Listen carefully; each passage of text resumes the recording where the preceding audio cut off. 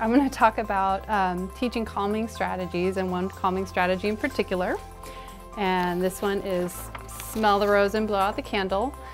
Um, sometimes students with disabilities need to be very directly taught how to calm themselves down and this is a way that I've found to be helpful to provide visual supports for calming strategies. These are pictures of a rose and a candle as you can see but you can also use actual roses or fake roses and an unlit candle.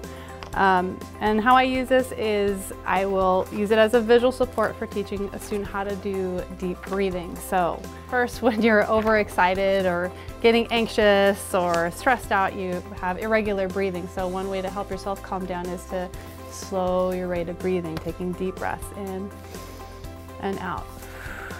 And it, when you do that, um, you, the, the kids don't get to see what you're doing, but if you have a visual of a rose, and if they are in the habit of knowing to sniff a rose and blowing out a candle, and you have these visuals, you can use them to smell the rose, blow out the candle, and you can pace their breathing by providing these visual supports um, in a slow way so that they're inhaling slowly and exhaling slowly. And it's a calming strategy that I found to be helpful.